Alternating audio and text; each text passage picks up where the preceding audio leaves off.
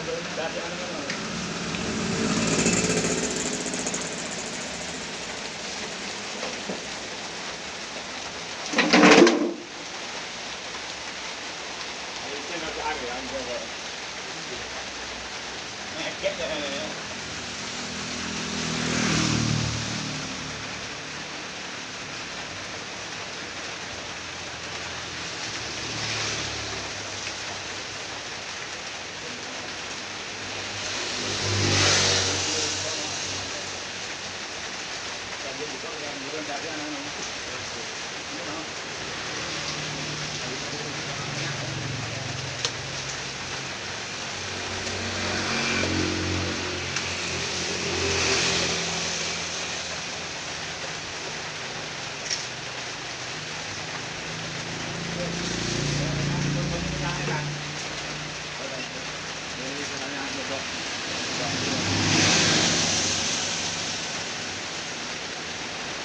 Kurangnya kita Pak ini.